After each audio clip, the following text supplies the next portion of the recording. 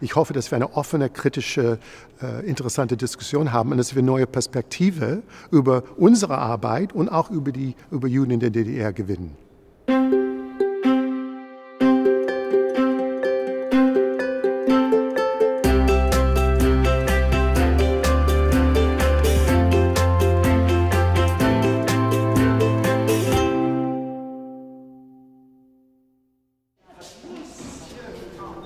Konnte man nach Deutschland zurückfahren. Das war ein, wirklich ein Geheimnis für mich. Ne? Und dann später habe ich es besser verstanden. Wenn ich von meinem Vater ausgehe, äh, der war ein Deutscher durch und durch.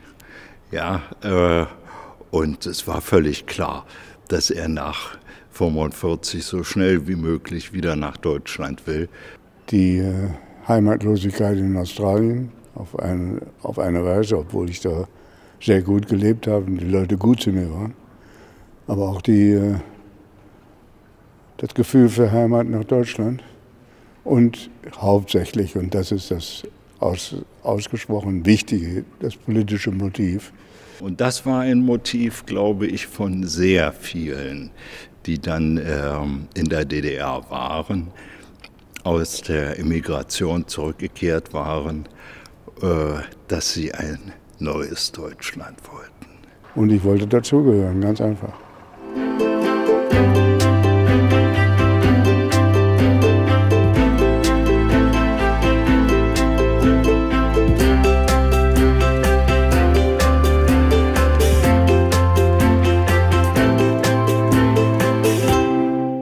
Ich hatte mir eine sozialistische Welt auf deutschem Boden vorgestellt. So wurde sie uns auch durch alle möglichen Publikationen dargestellt in Australien. Und ich fand dieser, dieser Aufbau, Aufbaudrang und die Jugendlichkeit dabei schon sehr faszinierend. Es war auch meine äh, Meinung nach, war es für sie eine Art, äh, mit äh, Deutschland und mit der deutschen Vergangenheit äh, durch die BRD abzurechnen.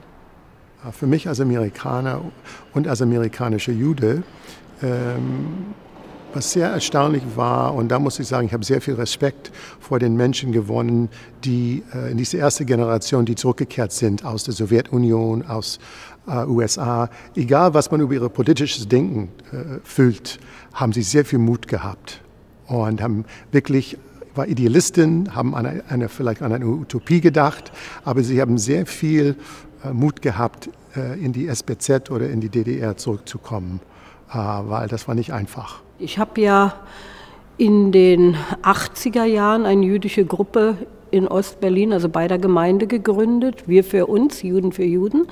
Und da stellte sich irgendwann heraus, dass wir alle, also wen lud man ein? Alle, die man kannte und die man kannte, waren alle im Exil geboren. Also als wir uns dann trafen, haben wir angefangen, Geschichten zu erzählen, woher kommst du, wie war das?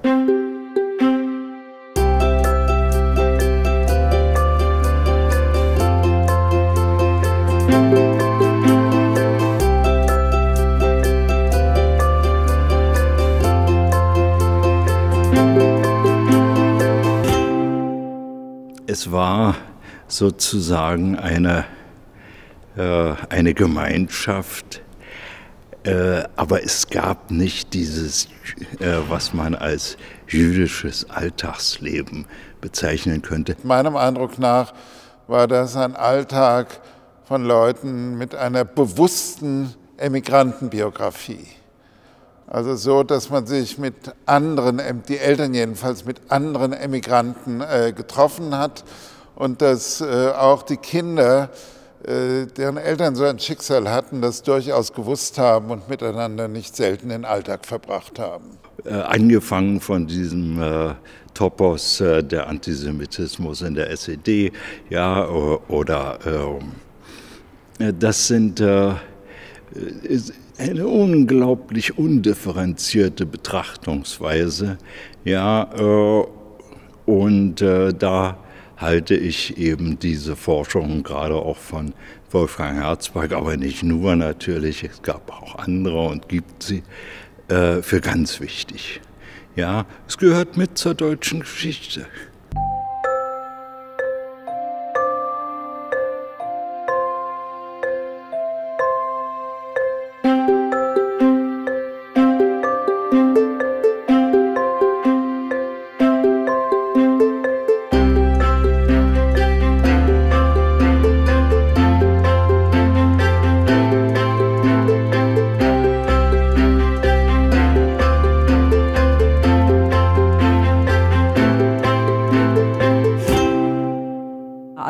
Lebensweisen in der DDR sind doch durch so ein paar Leute äh, über einen Kamm geschert worden. Unterdrückung, Ausbeutung, alles verhindert, alle dumm und so weiter. Endlich Mauer weg, alle glücklich.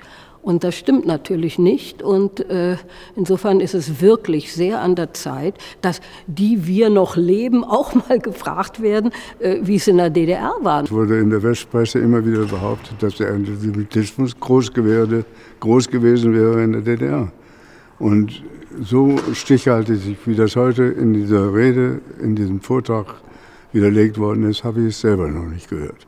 Das war sehr, sehr authentisch. Ich habe immer gedacht, ne, nachher, die waren die echten Opfer der Wiedervereinigung. Diese nicht-jüdischen Juden, die Kommunisten waren.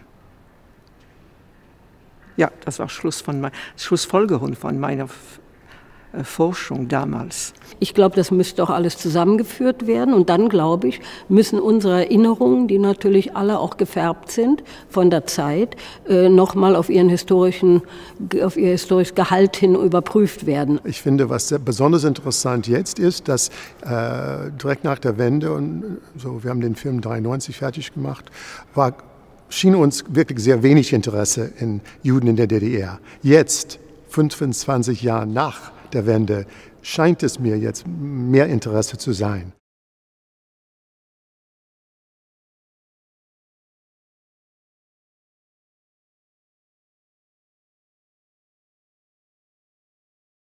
Musik